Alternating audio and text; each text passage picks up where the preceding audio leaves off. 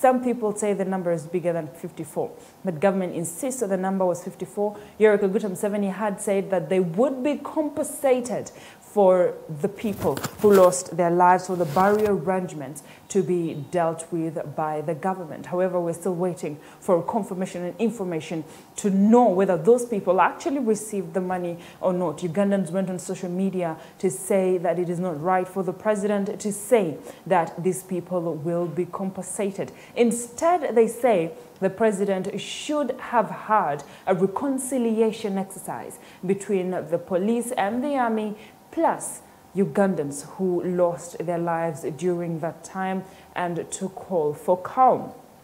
However, fortunately, that time passed, and here we are in our country, Uganda, with the elections conclu concluded. Robert Kyagulanyi saying that these elections were rigged, and there's something absolutely wrong because according to the results that he has, he won the elections by a landslide, and Yoweri Kaguta Museveni lost. However, we still know that Yoweri Kaguta Museveni will be swearing in on May 20th.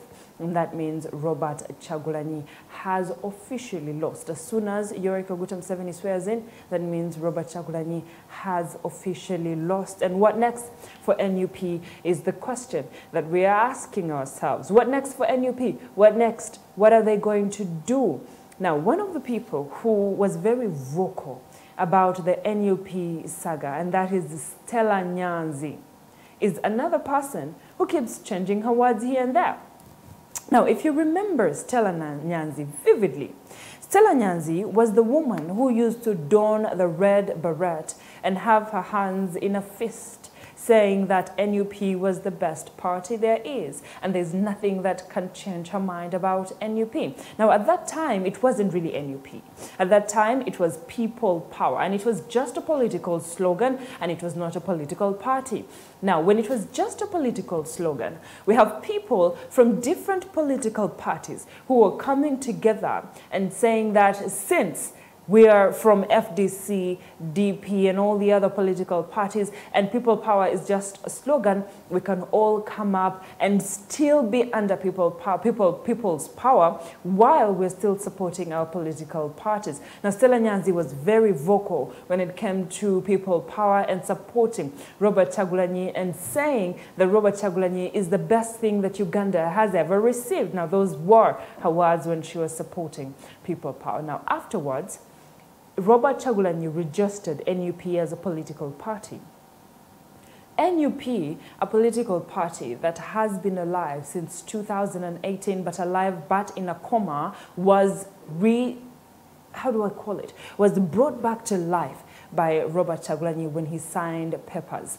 Now, of course, the NUP party has a lot of saga undergoing and the fact that the ownership of NUP party has been disputed in court and Robert Kyagulanyi was told at a time by the owners of the NUP political party to bring back the party. Of course, the owner had said that at that time they signed an amount of money for NUP and NUP said, no, they cannot sign an amount of money. And then he came up later and said, I didn't sell the political party. I saw the stories were immense. There was too much saga going on under the political party called NUP. However, all that gone and passed, NUP in the elections, NUP had its presidential candidate who came second in the just concluded elections 2020-2021 and he has the majority of opposition in parliament meaning they're going to take the chief whip position and the head of opposition in parliament. Now coming back to Stella Nyanzi. Now, after NUP party was registered, Stella Nyanzi made sure that she was one of the other vocal people who insulted Robert Kyagulanyi and insulted NUP at the same time. She said she will never leave her political party, FDC, to go to NUP, and she stuck there and she said that besides that, why would she go to NUP when NUP were homosexuals who got money from homosexuality or homosexuals who are in the US. And people said, hey, you said that you are a human rights activist and you're supporting homosexuals. Why is it that you're now condemning NUP to getting money from homosexuals and you make it seem like a bad thing? And she came up and said she knows that NUP is supporting their homosexuality drive because she is a human right fighter for homosexuality or for homosexuals and she knows each and every one of them in Uganda and that means that she knows who are in NUP and who are supporting NUP from the homosexual or LGBT category in Uganda.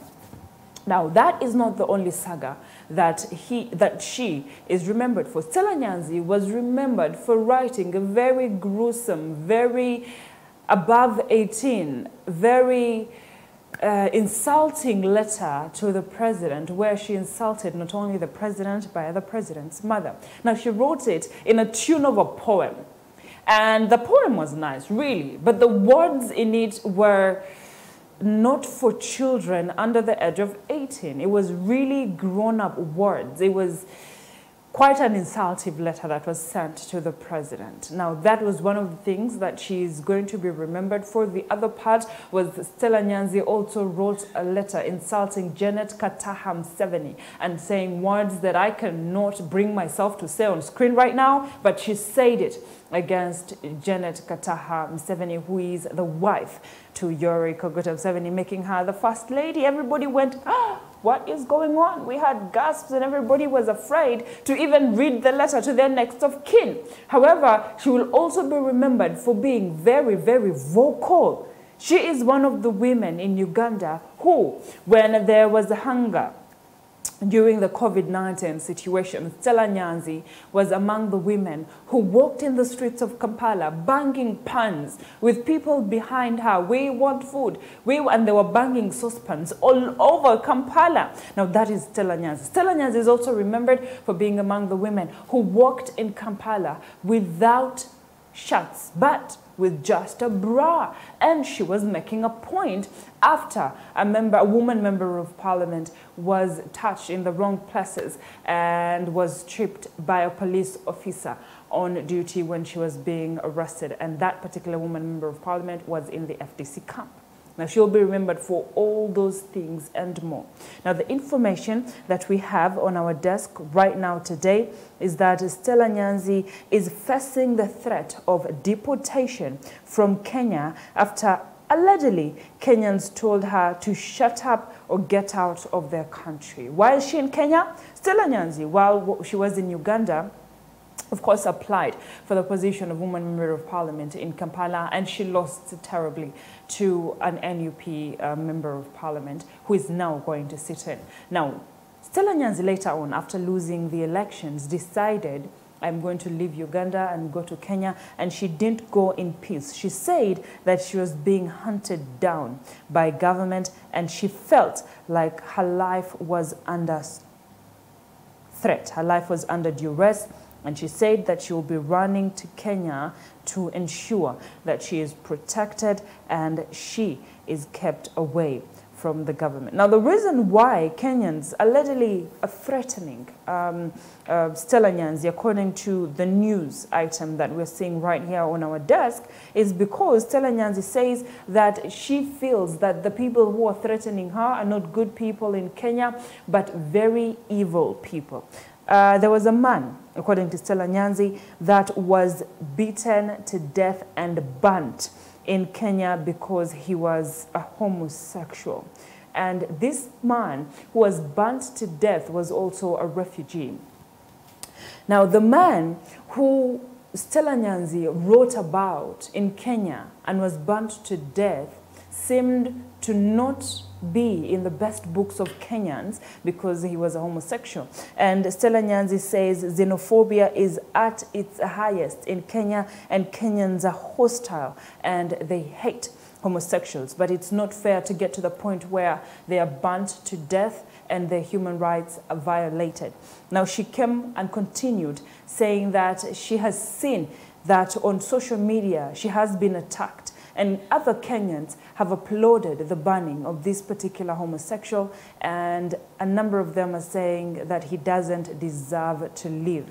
Now, she says that what is so wrong with her supporting such a person whose human rights were violated, and why is she being attacked? for doing what she did, yet everybody knows that she cannot come back to Uganda because she feels her life is under threat. Well, those are the updates that we had for you from, um, from Stella Nyanzi, who is in Kenya as we speak. Now we'll continue with the other story that has made headlines today, and that is the distribution of the money that was given to Electoral Commission to the different political parties. Now, according to Section 14B of the Political Party and Other Organizations Act, the Electoral Commission is meant to support political parties with a certain amount of money that is given to them for their daily activities and also the election process. Now, during the election process, the Electoral Commission was also given a sum of money that they distributed to political parties. But here's the concern that Asuman Basalirwa raised during a sitting with Electoral Commission and Parliament while writing the budget for 2021-2022 for the Electoral Commission. Now, the amount that Electoral Commission was asking for was 241 billion Ugandan shillings for this year that we're talking about, and that is the next financial year, 2021-2022. However, they were given 137 million, and they're missing 103. They were giving 137 billion, forgive me. I beg your pardon, 137 billion, and they're missing 103 billion uh, to help in distribution. Now, Asuman Basalirwa has accused the Electoral Commission not once, not twice, not thrice, but he has accused them a number of times for wrongly distributing this money to these political parties. He says, how is it that political parties that have the largest representation in parliament are the ones that get more money than the other political parties? And they have come to the point where the smaller political parties in Uganda do not actually get that money. Now let's look at Asuman Basalirwa's accusation in accordance to the 2020 election, 2020-2021 elections that have just been concluded. Now, according to Asuman Basalirwa, not all political parties got the money that they were supposed to get. He said Electoral Commission received 15 billion Ugandan shillings to distribute to these political parties that had representation in parliament. So to note, Uganda has a total of 26 registered political parties, some of which I know none of us know about. I'll be going through the list as we continue with this conversation.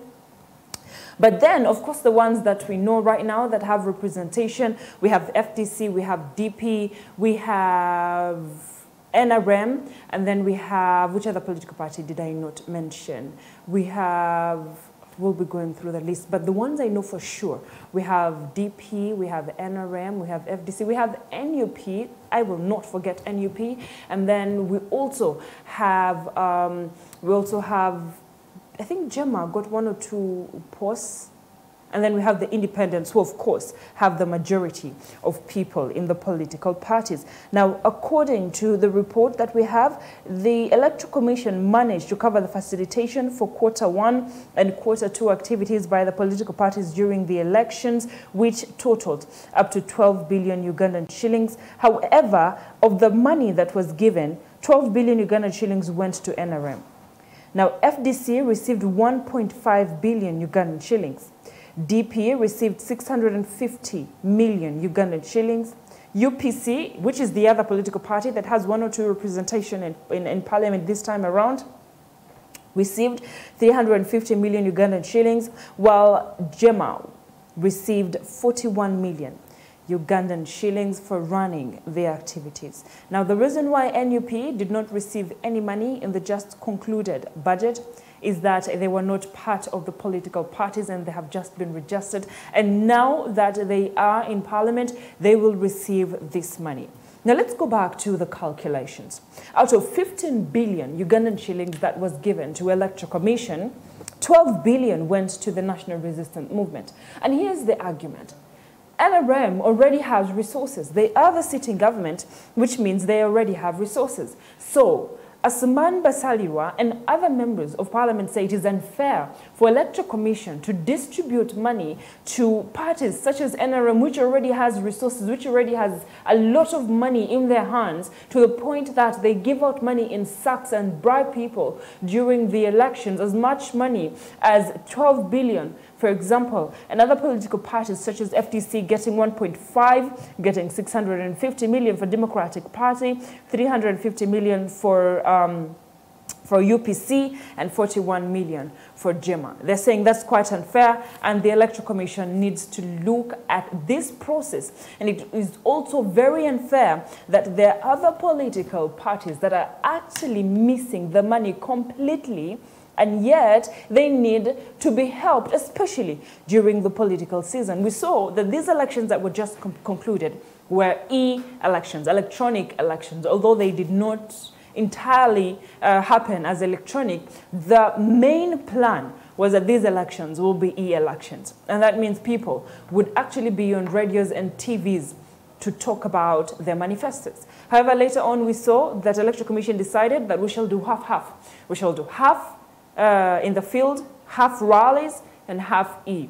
However, uh, parties like NUP complained that they were being stopped from speaking on radios and TVs, and that was unfair because this election was tagged an e-election. And when President Museveni spoke, on the other hand, he was given a platform where all media houses were expected to show Museveni being on TV and addressing the nation.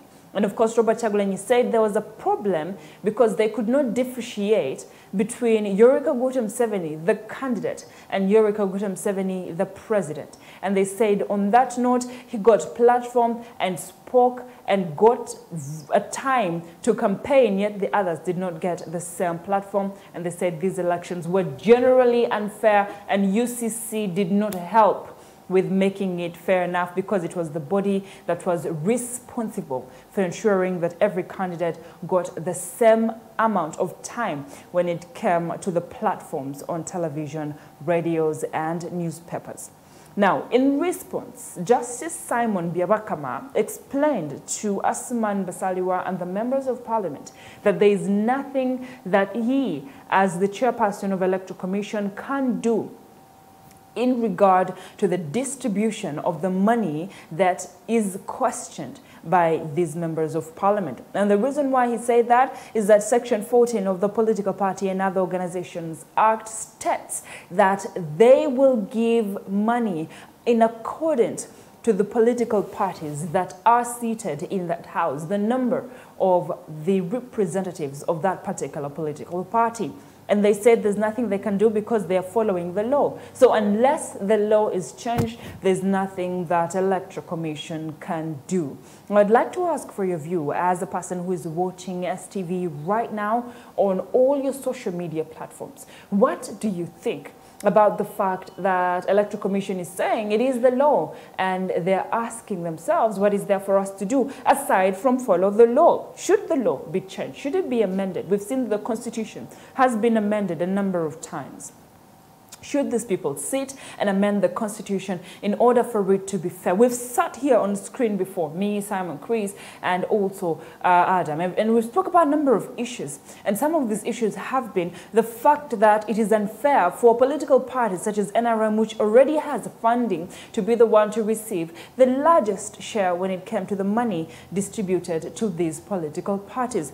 So unless, according to Electoral Commission, this amount, this, this article, section 14b of the Constitution or of the Act of the political party and other organization is changed, there is nothing absolutely that he can do. Let's look at the political parties that we have in our country, Uganda, the list of political parties that we have in our country, Uganda. Now, when we look at only the active political parties in Uganda, we have Alliance for National Transformation, that is ANT, and which is led by Mugisha Muntu. And then we have parties like the Conservative Party. The Conservative Party, CP, which for me is not as active as this uh, particular article claims that it is. We have Democratic Party, of course, the DP, which is quite active. And Norbert Mao had said that if he doesn't get a number of representatives in parliament that he wanted, he'd step down as the chairman of DP. And now he came back and said, mm -mm, that what I said, I am not doing it, Basevo. I am coming back and I'm still being the chairman and I will stand as the president next time, next time uh, the Democratic Party stands. And then we have the Ecological Party of Uganda, which for me is also not as active. We have Forum for Democratic Change, of course, FDC, which has been the strongest opposition party in Uganda. But now NUP has taken over the that particular part of being the strongest political party in Uganda. We have Forum for Integrity in Leadership, which is also not as active. We have Green Partisan Party, GPP, which is also not as active. We have Justice Forum, and that is JEMA, which, which is quite active. JEMA decided that they would have a coalition with NUP, which they did.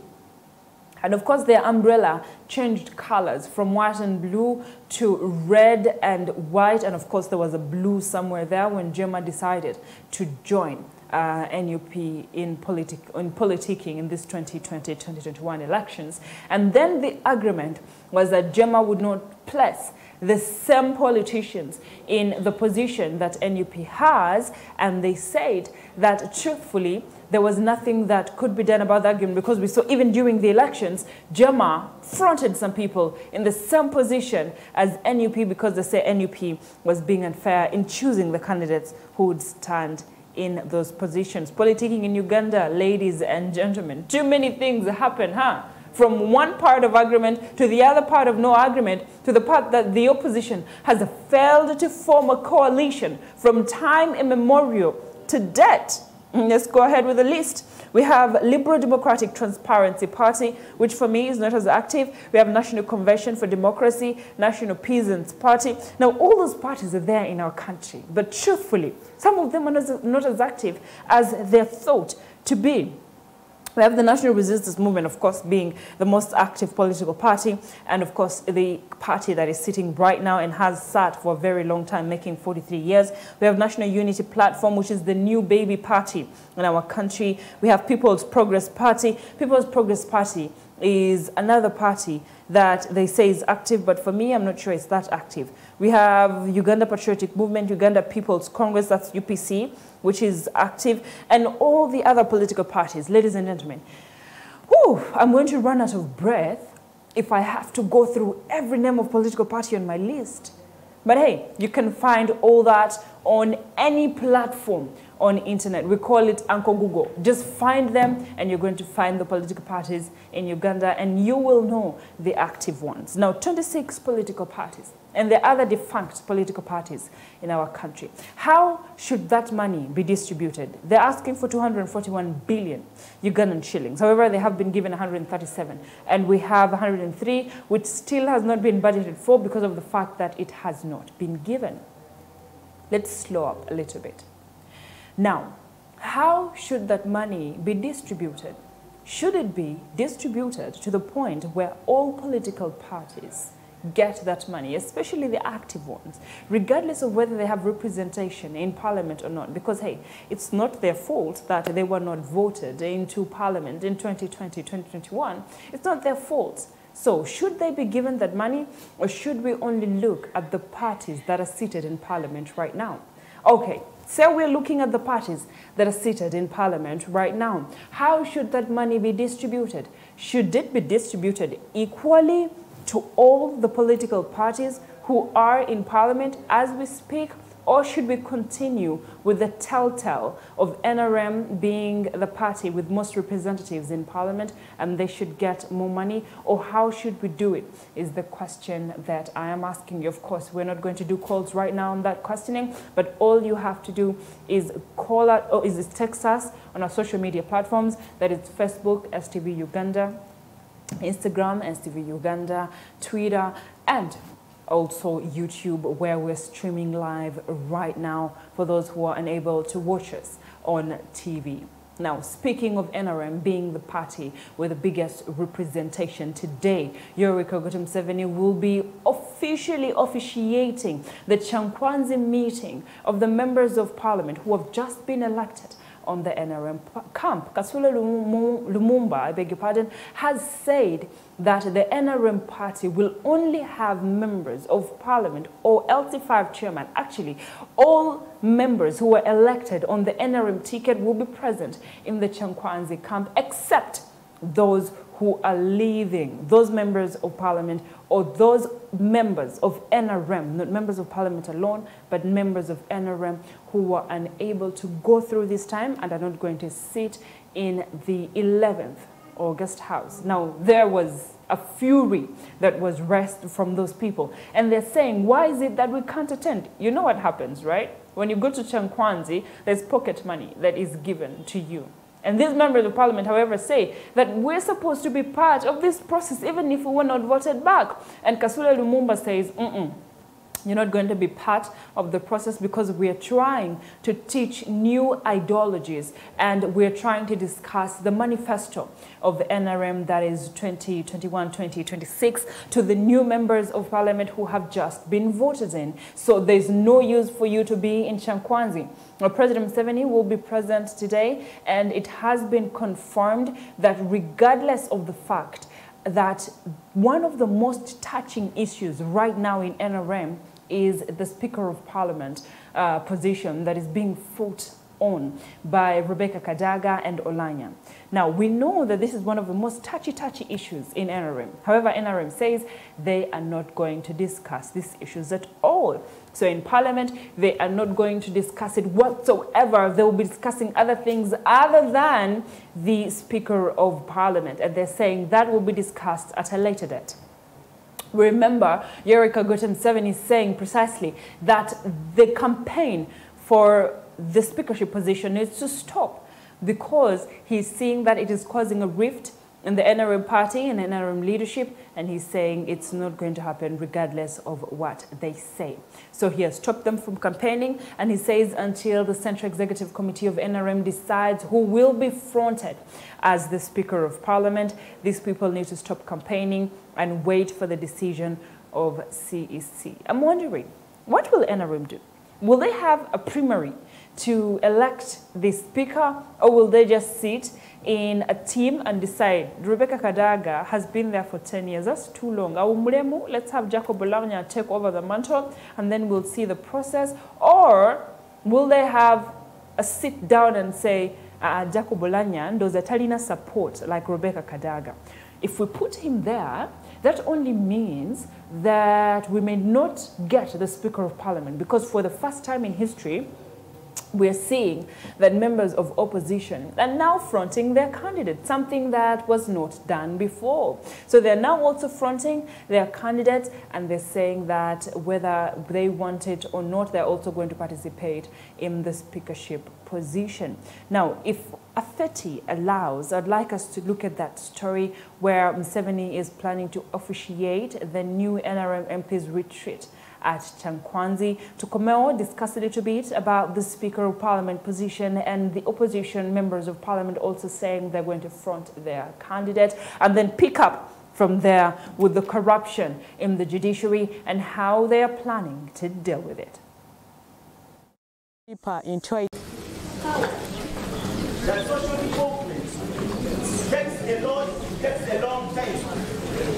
kati kitutte sabbiiti namba bwekyababaka aba paalamenti abayitamu ku kaada ya nrm bagenda mu lusirika ekyankwanzi nga mu kwogerako ne ssaabawandiisi wa nrm honorable justin kasule lumumba atutegeezezza ku biki bulijjo bye bakola. NRM party to have the official opening of the retreat for the newly elected members of parliament, the MP elect for the 11th parliament. olunaku lw'enkya pulezidenti w'eggwanga lino era nga ye kyamaani wa nrm wakuggulawo olusirika luno mu butongole era nga ensonga ez'enjawulo zakwanjibwa And uh, His Excellency Yoweri Kaguta Museveni, the national chairman, will preside over that function. lumumba agamba oluvannyuma lwa pulezidenti museveni okuggulawo olusirika luno olwo bakukubaganya ebirowoozo ku nsonga ezikwata ku kukulaakulanya uganda ko ne africa okutwaliza awamu After the official opening, we shall go deeper into ideology under the chair of the national chairman, His Excellency Yoweri Kaguta Museveni, and then we shall also look at issues to do with the, how to deal with the basic needs, especially of the most vulnerable people. The basic needs, this is food, clothing, shelter, medical and security. olusirika lwakuggwanga ennaku z'omwezi amakumi abiri mu mwenda omwezi guno nga lugendereddwamu ababaka ba nrm okwemanya okutendekebwa ku butya bwe banaasobola okusakira eggwanga ko n'ensonga endala nnyingi nze arafat musoke acetv There you go. That story ran in our news bulletin yesterday, and that is Selector Yenjaulo that was anchored by Hasif Sechiwunga. An amazing bulletin. That is, if you missed, you need to catch it today at 6.45 p.m. Same time, same place, and you will get the best of the news that is happening in the country. We don't miss any article that you see everywhere. We have it in our news. Now, you remember when Yoweri Kaguta Museveni called Rebecca Kadaga and told her, stop telling people that you kept me in power because with or without you, I would still be in power.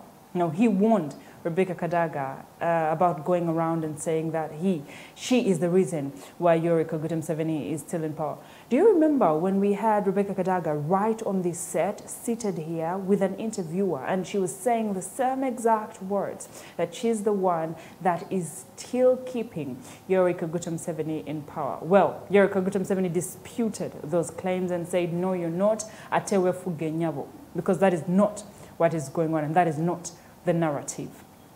Now, Oulanyah and Rebecca Kadaga is a competition that everybody has their eyes put on NRM and they're wondering what next for NRM.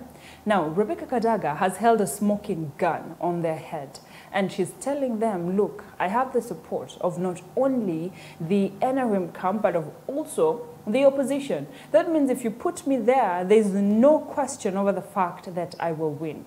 While launching her bid in Speke Resort Munyonyo, Rebecca Kadaga had support from the different political parties. NUP was present right there in the, the, the launch of Rebecca Kadaga's speakership bid.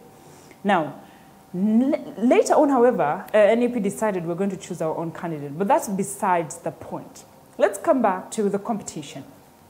Oulanyah says that Rebecca Kadaga is accusing him of being weak and calling her all the time when there's a debate in parliament that he feels that he cannot handle. Oulanyah says it's not true. And Oulanyah says if Rebecca Kadaga says he has, she has all the support that she claims to have, why is it that she's still campaigning? Well, this competition got dirty. The water got dirty and murky, and everybody was throwing insults and claims until Yoweri Kaguta Museveni said, enough is enough. Keep quiet. We'll deal with this on the big people's table. You know what they say when adults are speaking, the children need to keep quiet. Museveni said, we'll deal with this on the dining table of adults. Now, you young children, keep quiet. Let's deal with that, and then we'll come back to you to tell you what decision we have made. And us in the public, us in the newsroom, are waiting to listen to what the final result is going to be.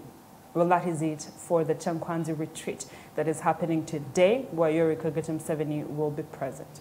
Now, let's move forward to our last story before we go for break and watch uh, and watch Global Exploration by Carol, where we learn new things every other time it comes on air. And for me, that is one of the segments that I enjoy fully, even when I sit right here on the set. I watch it and I enjoy it and I have fun with it, and I hope you to have fun with it. However, later on, we'll, we will be having a guest who will be coming in to tell us details about Mufti coming to Uganda. Now, for the Muslims who have today fasted for their third day of Ramadan, I am calling upon you to join Mufti Menk, who will be at Pearl of Africa Hotel. And of course, you know Mufti Menk's teaching. They're very inspirational. And they come at a time when we actually need them because we're in the COVID 19 pandemic. People, one, don't have money to even buy iftar and dako for themselves and their families. People are at a time when they've lost their loved ones to the pandemic and to also the just concluded election. So there's a lot of sadness, there's a lot of sorrow, there's a lot of hunger, there's a lot of the, the, the, situation is not as good. So Mufti Menk is coming and you know how his messages are uplifting and hopefully you will get a word or two from Mufti Menk and STV, which is an official partner to the coming of Mufti Menk, will be able to bring you Mufti Menk from the time he arrives at the airport to the time that he leaves right here live on STV and you should not touch your screen when Mufti Menk comes and of course we'll have an exclusive interview with Mufti Menk only on STV. Now we'll have one of the organizers come here, the chairperson of the organizing committee, who of course will be telling us the information about the coming of Mufti Menk. Now let's go back to the conversation that we're having. And this time we're looking at a change of uniforms or the insisting of uniforms in the Judiciary Committee. Now, we remember when police had a change in uniform. Until today, people are not satisfied with the color of the uniform that was given to the traffic police.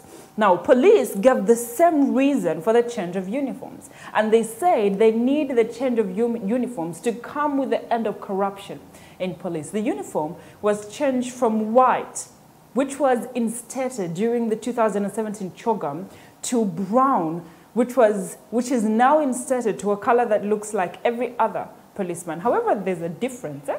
There's a white belt and there's a white guard down on their socks to protect them from dirty water spoiling or entering their shoes.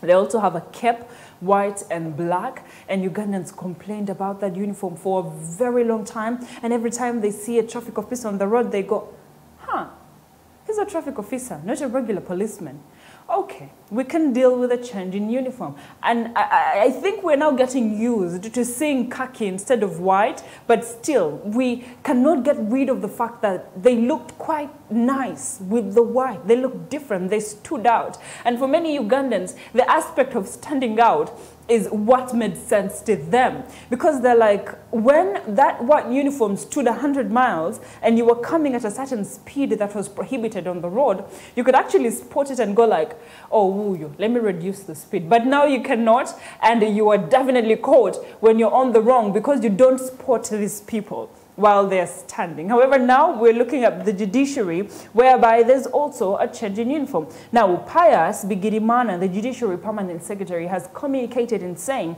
that they're going to have a uniform that is given to all members of the judiciary, the staff and the other members who are also uh, part of the judiciary. Now, according to him, we're looking at different uniforms for different people. Now, the clerk and other staff will also have a uniform, three pairs for each clerk, and the other staff, the drivers and all the others, will have a set of three uniforms each. And then the magistrates will maintain their gowns, but it will be compulsory for every person in the magistrates to put on their gowns at all times, their gowns at all times. And then, of course, the judiciary will be putting on their robes. And that is how the uniforms will be broken down. Now, in total, staff and they will receive three sets of uniforms. So 300 550 members of the staff who will be receiving these uniforms and they say that this becomes part of the process to fight uh, corruption in judiciary. We remember that according to information that was circulated in media, three members of the staff were dismissed from the judiciary because of corruption and 15 of those were interdicted while 30 of those are on reprimand due to corruption. And we also know that in 2020, the, anti the Judiciary Anti-Corruption Task Force emphasized that uniforms for all members of judiciary, including the drivers, would help in fighting against corruption in the judiciary. Cases have been reported of corruption in the judiciary. And among those cases is the distortion of cases the loss of files, the alteration and removal of information. And how does that happen? So I go to court and I tip these people and then tipping them is not cheap it's very expensive now they're tipped some money is given to them and then say there's an information in the file that says ABCD, that file will be retyped and that information will be removed.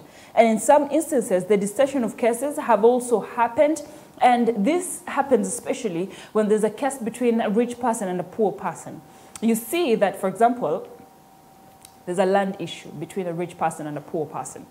Now, what happens is that the rich person will pay a certain amount of money and the information will either be distort distorted or the file will disappear out of a blue or there will be the alteration and removal of information and then the case will be thrown out and this person will lose. Yet, truth be told, it is the poor person that deserves to have won the case. So all those things are happening, and hopefully, according to Pius Bigirimana, we are seeing that the change in uniforms will help in fighting corruption. Now, ladies and gentlemen, allow me to take a short break.